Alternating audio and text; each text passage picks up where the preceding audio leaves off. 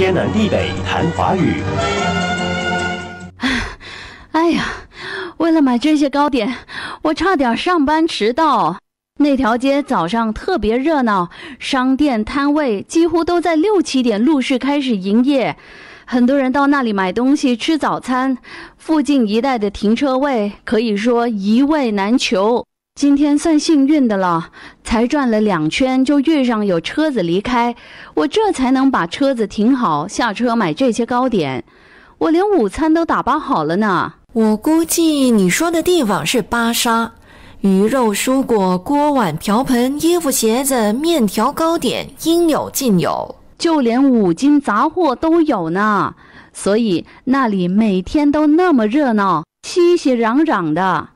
成语“熙熙攘攘”形容人来人往、喧闹纷杂的样子。《史记·货殖列传》写道：“天下熙熙，皆为利来；天下攘攘，皆为利往。”其中的“熙熙”和“攘攘”都指纷杂的样子。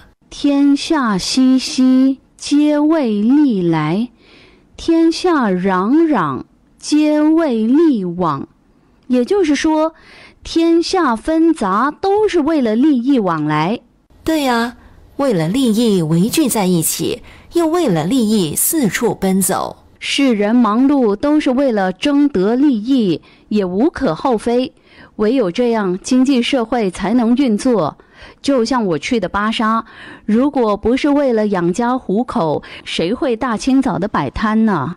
没有人摆摊，又怎么会有那么一大群人围聚在一处进行买卖？我又怎么能买到这么好吃的糕点？没有你的劳碌，一大早赶往熙熙攘攘的闹市，我又怎么会有既好吃又是免费的糕点入口呢？你安静的吃就好，别一会儿又考我听写。哎，我还正想问你，熙熙攘攘怎么写呢？这么难，肯定问倒你了。哼。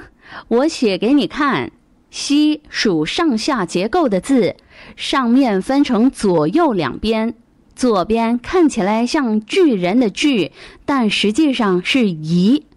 左三包的框跟辰一样，框里头一上一下的竖线也一样，但是中间是一个独立的口，这个部分常有人写错，要特别留意。而上面右边的“四”。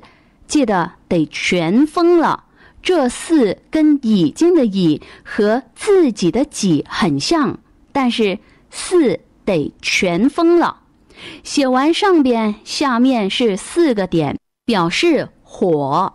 嚷嚷的“嚷”不写土字旁，得是提手旁。熙熙攘攘形容人来人往、喧闹纷杂的样子。天南地北谈华语。以上内容由李林撰稿，李林和谢佳丽播讲。节目重温可以浏览 i f m 官方脸书 facebook.com/slash/aifm.dot malaysia，或浏览 YouTube 频道，搜寻“天南地北谈华语”。